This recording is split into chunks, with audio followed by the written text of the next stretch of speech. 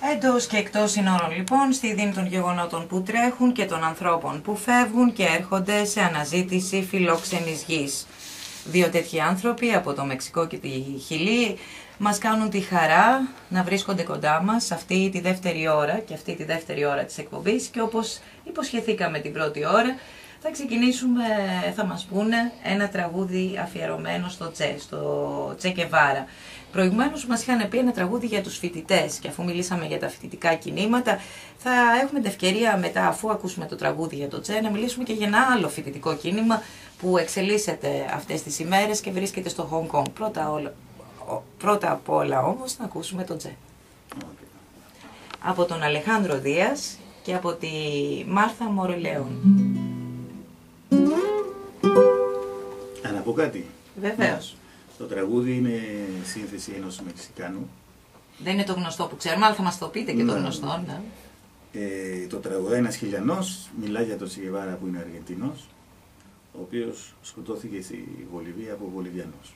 Αυτό ήθελα να πω ότι δηλαδή, στην Υγεία Αμερική είναι δεμένη της αγαλάκης Και όπως μας έλεγες ε, προηγουμένως, στη Χιλή το σύμβολό τους είναι ο Τσε. Basta,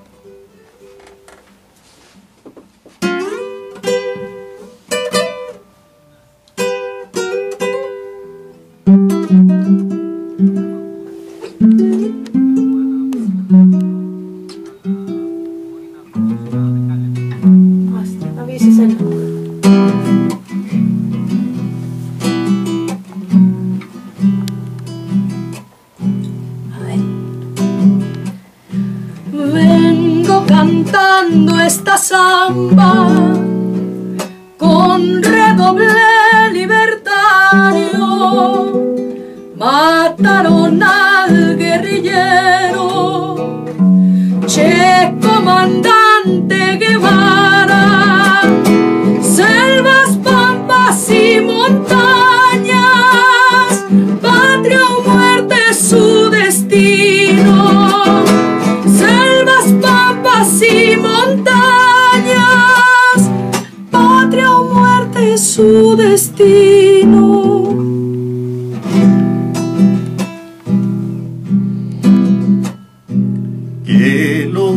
Derechos lo violan en tantas partes.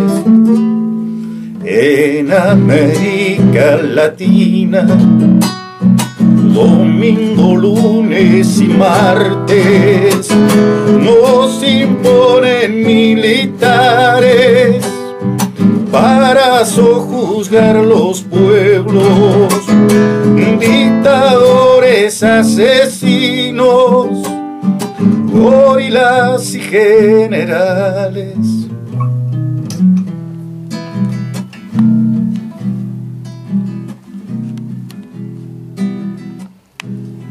explotan al campesino, al minero y al obrero. Cuánto dolor su destino, dolor. Bolívar le dio el camino y Guevara lo siguió sojuzgar a nuestros pueblos del dominio explotador. A Cuba le dio la gloria de la nación liberal. Bolivia también le llora su vida sacrificada. San Ernesto de la Higuera le llaman los campesinos selva, pampas y montañas, patria, muerte es su destino. Selva, pampas y montañas, patria o muerte es su destino. Ευχαριστούμε Μάλιστα. πολύ. Ευχαριστούμε πολύ Αλεχάνδρο. Σε ευχαριστούμε πάρα πολύ Μάρθα για αυτό το όχι τόσο γνωστό στην Ελλάδα τραγούδι για τον Τσεκεβάρα. Και Θα ήθελα από τον Αλεχάνδρο, κάποια στιγμή θα μιλήσουμε τώρα για τους φοιτητές όπως είπαμε, γιατί έχουμε εξελίξει στο Hong Kong, θα μας τις μεταφέρει αυτές ο Παναγιώτης Οντρίβας, να μας μιλήσει για τον Βίκτορ Χάρα, αμέσως ε, μετά που είναι το δεύτερο σύμβολο και είναι και χιλιανός άλλωστε. Ε, Παναγιώτη, Δεν είναι πες μας τι τυχαίο έχουμε ότι- από το Hong Kong. Ναι, δεν είναι τυχαίο ότι σε όλο τον κόσμο, από εκεί που ξεκινάνε τα κινήματα, είναι τα πανεπιστήμια, οι φοιτητές. Είναι ε, φυσικά μια πηγή πολιτικής σκέψης το πανεπιστήμιο και είναι και πηγή εξέγερσης όταν κάτι δεν πάει καλά. Και αυτό που δεν πάει καλά συνήθως είναι η έλλειψη δημοκρατίας. Αυτό συμβαίνει έτσι. Ε, το κινέζικο καθεστώς το ξέρουμε όλοι, ξέρουμε ότι πώς κινείται, τι κάνει, πώς καταπνίγει τις ελευθερίες στην ε, Κίνα και όπου αλλού έχει την κυριαρχία. Το Χονγκ Κονγκ λοιπόν μετά τη Βρετανία πέρασε στη Κίνα ε, με ένα ιδιότυπο καθεστώς. Ε, είναι το ένα κράτος δύο συστήματα, το γνωστό. Αλλά βλέπουμε τώρα ότι το Πεκίνο σιγά σιγά αρχίζει και καταπνίγει τις ελευθερίες και εκεί με διάφορες αποφάσεις του κόμματος και της ε, εθνοσυνέλευσης που έχει εκεί, ωστόσο δεν κάνει εθνοσυνέλευση, να το πούμε έτσι. Ελέγχεται φυσικά από το κομμουνιστικό ε, καθεστώς. Ο Θεός να το κάνει κομμουνιστικό. Σωστό και αυτό. Έτσι όπως πάει το Στην πράγμα. Κίνα. Μπορείς, ναι, ναι. Ακριβώς. Ε, τώρα τι γίνεται στο Hong Kong, έχουμε εκλογές το 2017. Το 2017 λοιπόν θα πρέπει οι εκλογές αυτές να γίνουν ελεύθερα. Όταν λέμε ελεύθερα εννοούμε ο καθένας να, να, να μπορεί να βάλει Και με άμεση υποψηφιότητα. ψηφοφορία. Δηλαδή ο καθένας να μπορεί να εκλέξει αυτόν που Αυτό θα θέλει. γίνει. Ναι. Αλλά τι γίνεται; Δεν θα Όχι, μπορεί ο καθένας έχει να και βάλει. μια έμεση ψηφοφορία. Δηλαδή θα πρέπει να γίνει μια προεπιλογή και στη συνέχεια Μπράβο. οι εκλέκτορες να βγάλουν τους υπόλοιπους. Άρα τι πρέπει να γίνει; Πρέπει πρώτα, ας πούμε, αυτό που θέλει να βάλει υποψηφιότητα να περάσει από μια επιτροπή. Η επιτροπή αυτή ελέγχεται από το Πεκίνο και άρα δεν θα είναι μια ελεύθερη υποψηφιότητα. Θα πρέπει να συγκεντρώσει ένα μεγάλο αριθμό ψήφων, πάνω, πάνω από το 50%. Και καταλαβαίνετε όταν μια υποψηφιότητα δεν είναι ε, αρεστή στο Πεκίνο, δεν πρόκειται ποτέ να πάρει τις ψήφους αυτές. Επομένως οι φοιτητές ε, ζητούν το κίνημα, αν θέλετε, δεν είναι μόνο φοιτητές, είναι και άλλοι που έχουν. ε, Και έχει και ονομαστεί και κίνημα της ομπρέλας. ναι, αυτό Επανάσταση είναι. της ομπρέλας. Ναι, κίνημα της ομπρέλας είναι πιο πολύ. Ε, Πώς θα το πω. ε, Θέλει να κάτι- δείξει την άμυνα και απέναντι στην αστυνομική βία. Γιατί οι φοιτητές το κάναν αυτό Ειρηνικά. αφενός για να προστατευτούν από τη βροχή, γιατί το κλίμα εκεί είχε συνεχείς βροχές από τότε που ξεκίνησαν οι διαδηλώσεις, που κορυφώθηκαν βέβαια τις τελευταίες ημέρε, έχουν ξεκινήσει από τα τέλη Ιουνίου. Είναι τρίτη εβδομάδα Ε, διαδηλώσεων. θέλανε, ναι, ακριβώς. Θέλανε να προστατευτούν από τα χημικά που ρίχνανε οι αστυνομικοί και γι' αυτό ανοίξανε και τις ομπρέλες. Δεν τις ανοίξανε μόνο για τη βροχή. Είναι τρίτη εβδομάδα λοιπόν διαδηλώσεων. Ε, τα νεότερα είναι τα εξής. Την προηγούμενη εβδομάδα είχαν καθοριστεί να γίνουν κάποιες συναντήσεις με την κυβέρνηση του Hong Kong, οι οποίες ματαιώθηκαν με μία πρόφαση, θα έλεγα εγώ, ότι τα αιτήματα των φοιτητών ε, δεν μπορούν να συζητηθούν, μιας και ζητάνε, δεν το επιτρέπει αυτό το Σύνταγμα και κάποιες τέτοιες δικαιολογίες. Ουσιαστικά αυτό που βλέπω και έχω γράψει και στο Inside out borders. είναι ότι υπήρχε να ήταν ένας προσχηματικός διάλογος, αυτός που εξαγγέλθηκε, έτσι ώστε να μπορέσουν να καταπνίξουν το κίνημα, να εκφυλιστεί το κίνημα, να, να σκορπίσει. Το κρατήσανε. Υπάρχει ένας πυρήνας που το κράτησε όλη αυτόν τον καιρό, που άρχισε να ελαττώνεται ο κόσμος, να κουράζεται. Υπήρχαν γύρω στους ε, 300-400 φοιτητές στο κέντρο του Hong Kong με σκηνές οι οποίοι Ναι, το αυτό το κρατήσαν είδαμε το που- κίνημα. Ναι, ναι, αυτό ναι. είναι το πολύ σημαντικό γιατί τώρα όταν ματαιώθηκαν χθες οι, Οι συζητήσεις. οι συζητήσεις, οι επίσημες, τι γίνεται; Ξανά ο κόσμος άρχισε να ξαναβγαίνει στον δρόμο γιατί είδαν, κατάλαβαν την αλήθεια. Ένα άλλο στοιχείο που μπαίνει στην όλη ιστορία είναι μία, ένας έλεγχος στον κυβερνήτη Λεόν. Ξαφνικά, την προηγούμενη εβδομάδα, Αυστραλιανά μέσα, Στο διορισμένο κυβερνήτη, όπως μας είπες. διορισμένος είναι έτσι αλλιώς, μια μαγιονέτα είναι του Hong Kong, του, συγγνώμη, του, Του Πεκίνου. Του Πεκίνου. Λοιπόν, ε, την προηγούμενη εβδομάδα, μέσα στην εβδομάδα που μας πέρασε, Αυστραλιανά μέσα βγάλαν την εξής είδηση, ότι ο Λεούγκ είχε χρηματιστεί για να εγκρίνει μια εξαγορά εταιρείας. Μιλάμε τώρα για κολοσσούς. Και στο σημείο αυτό σε διακόψω Παναγιώτη, γιατί σε λίγο θα συνδεθούμε με Αυστραλία. Και Πολύ συγκεκριμένα ωραία, με θα το μας το πει. Σίδνεϊ της Αυστραλίας, Θα μας οπότε πει θα έχει να μας πει πάρα πολύ Ποια είναι λίγα αυτή γι' η αυτό. UGL. Η UGL είναι μια τεράστια πολυεθνική με υπηρεσίες, με... εμπλέκεται σε βιομηχανικά προϊόντα, παρέχει ε, κατα... σε κατασκευές. Τεράστια, τεράστια ε, εταιρεία. Ήθελε να εξαγοράσει τη DTZ, είναι σύμβουλος ακινήτων, στην οποία εταιρεία αυτή Μάλιστα. επικεφαλής είναι ο Λεούγκ από το 2012.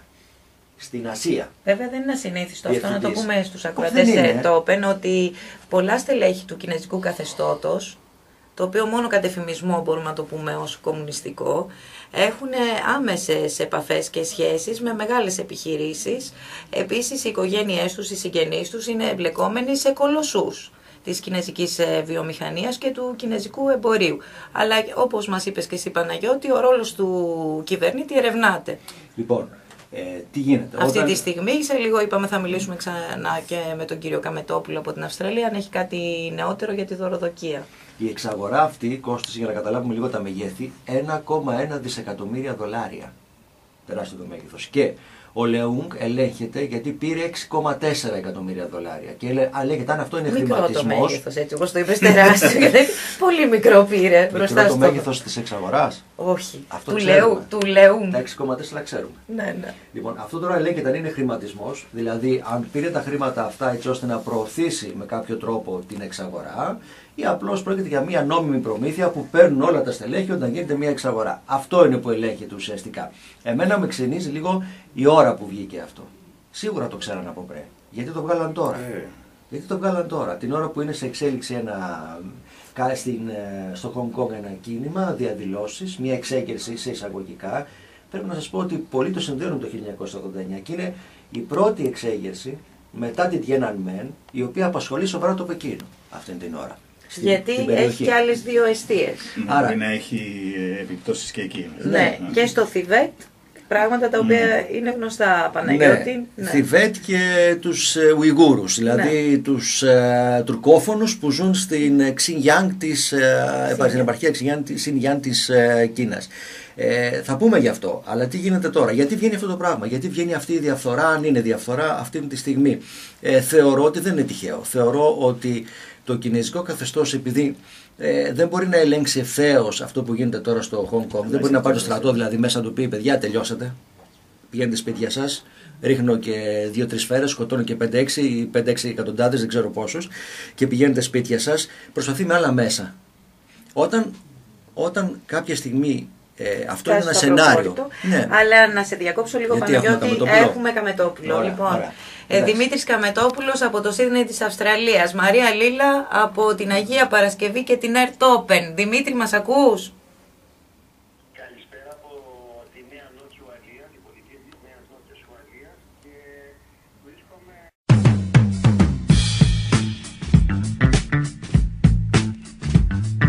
Ευχαριστούμε πολύ για τα πολύ ενδιαφέροντα νέα της Ομογένειας αλλά και γενικότερα της κατάστασης στην Αυστραλία που μετέφερε στους ακροατές της Air Open. Καλό σου βράδυ από την Αθήνα. Βέβαια να μην σας μπερδέψουμε, απλώς τώρα φαντάζομαι θα είναι περασμένες 8.30 το βράδυ Αυστραλίας.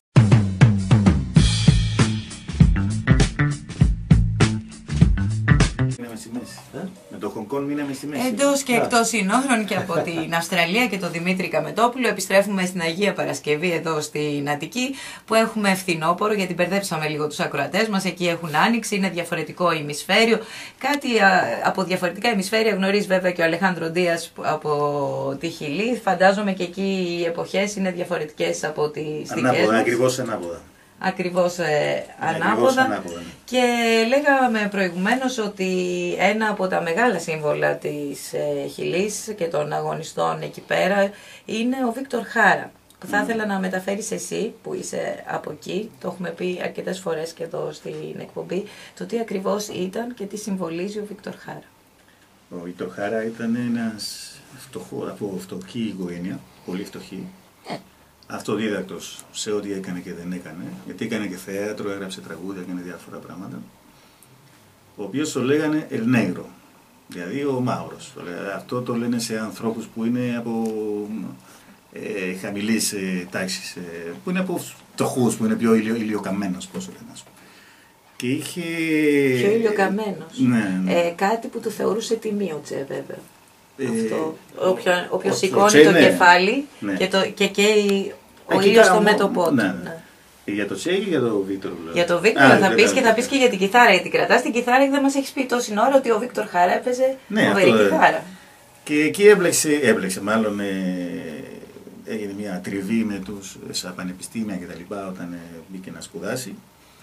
Στη δεκαετία του αρχές του- το 60 και μορφώθηκε εκεί και πολιτικά και σα- ξαφνικά χωρίς να το πάρει χαμπάρι κανείς, ούτε ο ίδιος, ας πούμε, μπλεχτήκαν σε όλο αυτό το κίνημα που υπήρχε στα μέσα το 60, αρχές 70 και στη Χιλή και στη Λατινική Αμερική. Ε, ήταν τότε το Βιετνάμ, ε, το πόλεμο του Βιετνάμ, Ο ήταν ένα βρώμικος σωρό- πόλεμος, α, ναι. βρώμικος πόλεμος. Ένα σωρό πράγματα.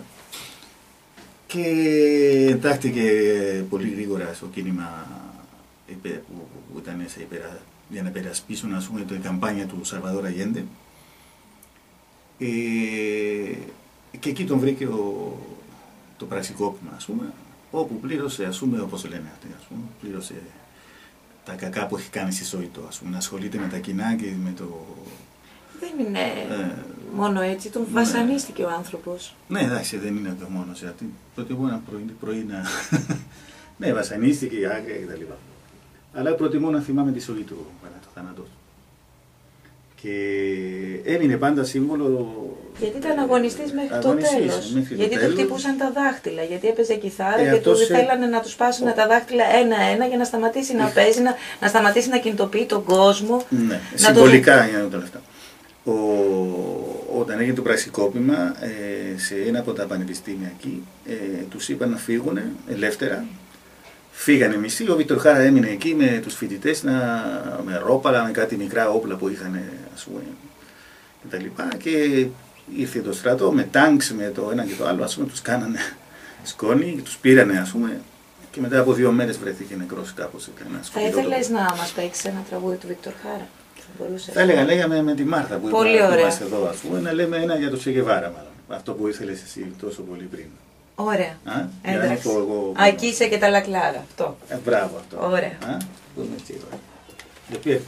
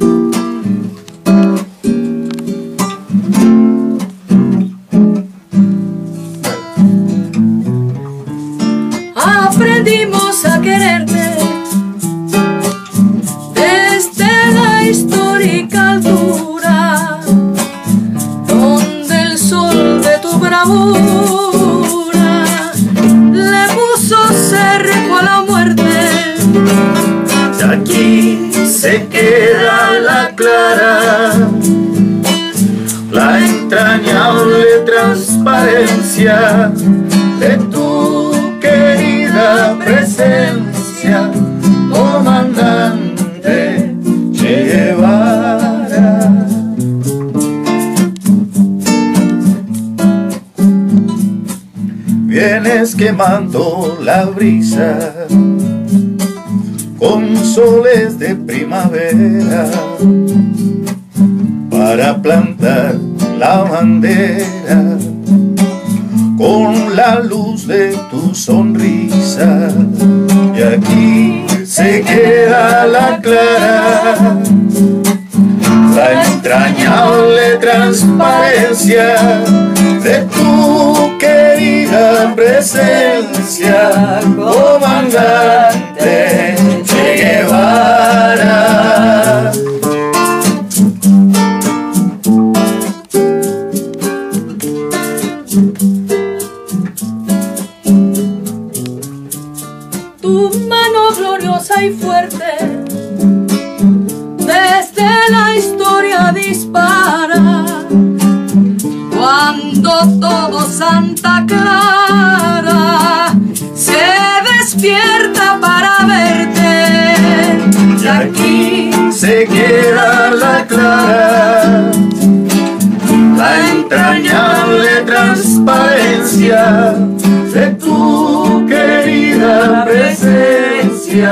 comandante Che Guevara.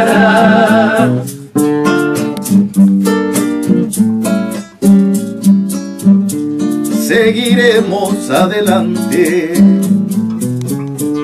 como junto a ti seguimos y con Fidel te decimos siempre comandante. Y aquí se queda la clara, la entrañable transparencia de tu querida presencia,